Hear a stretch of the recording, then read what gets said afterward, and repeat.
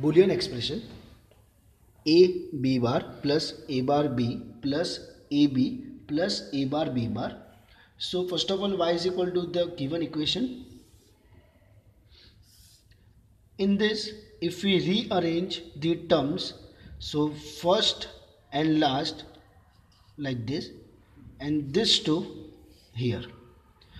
In this b bar is common. Inside the bracket a plus a bar in this b is common inside the bracket a bar plus a.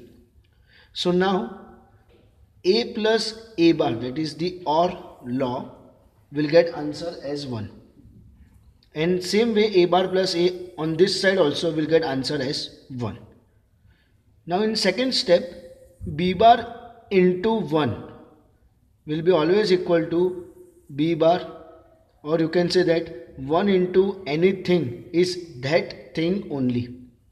On this side also 1 into b. So we have to write b only. So it will be b bar